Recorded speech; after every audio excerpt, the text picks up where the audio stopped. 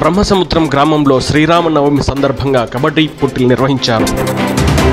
కనేకల్ మండలం పరిధిలోని బ్రహ్మసముద్రం గ్రామంలో శ్రీరామనవమి సందర్భంగా గ్రామ పెద్దల ఆధ్వర్యంలో కబడ్డీ పోటీలు నిర్వహించారు. ఈ కబడ్డీ పోటీల్లో సుమారు నలభై టీంలు ఉండగా ఇందులో బై చేసిన జట్లు రాకపోగా ముప్పై జట్లు ఆడగా అందులో ఎవరికి వారే సత్తా చూపించుకున్నారు. ఎటువంటి సమస్యలు లేకుండా మాస్కులు ధరించి సామాజిక దూరం పాటిస్తూ కబడ్డీ పోటీలు నిర్వహించారు.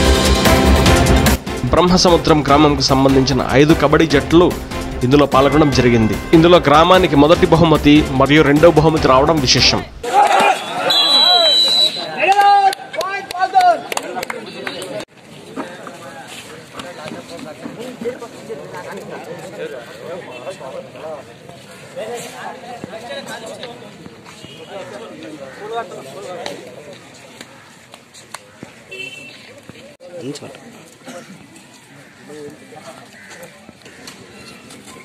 Point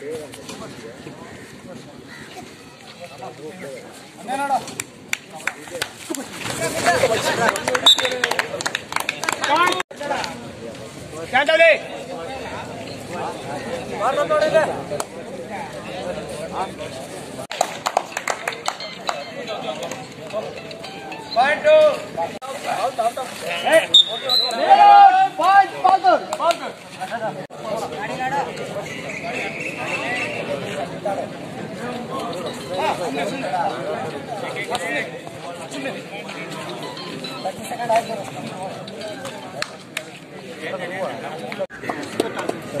Captain, both captains uh, send.